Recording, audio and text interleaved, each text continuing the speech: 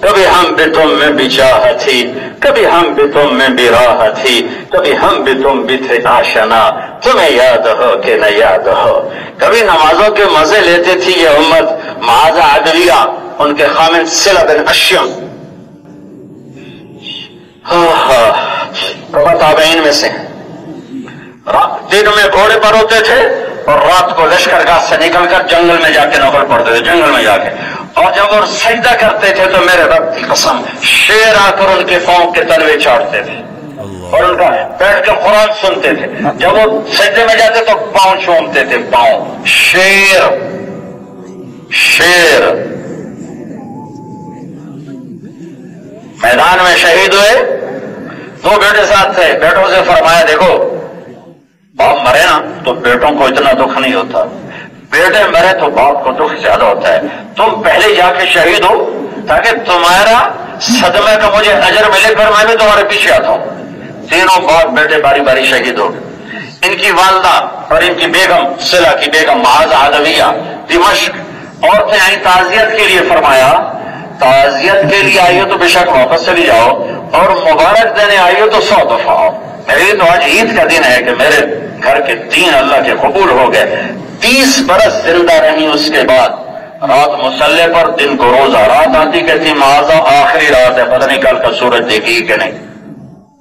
سوتے، وہیں مسلح پہ بیٹھے بیٹھے سو گئی تو سو گئی صبح ہوتی معاذہ، آج آخری دن ہے، روزہ رکھ لے، روزہ۔ رات قیام دن کو روزہ۔ مرض الموت میں بستر پر لیٹی موت کا وقت آیا، عورتیں غریب تھیں، پہلے روئیں، پھر ہنس لیں۔ تو عورتوں نے پوچھا، یہ روئی کیوں ہو؟ آج نماز اور روزے سے جدائی ہو جائے گی۔ ہائے ہائے ہائے۔ کیا دل لگایا نماز سے؟ کہ اس پہ رو رہی کہ آج آج کے بعد نماز نہیں پڑھوں گی، روزہ نہیں رکھوں گی۔ کبھی ہنس کیوں رہی ہو؟ کہ وہ سلا بن اشیم کھڑے ہیں سین میں کہہ رہے مہذا، میں لینے آ چکا ہوں۔ میرا خامد کھڑا مجھے کہہ رہا میں لینے آ چکا ہوں، جان نکل گئی۔ اس امت نے نماز کا لطف لیا ہے۔ ہم تو بوجھ سمجھ کے پڑھ رہے ہیں۔ نماز کو جی لگا کے پڑھنا، اپنے مسائل کا عرض کے اندر سمجھنا، اللہ کی محبت اور معرفت کے مقام طے کرنا۔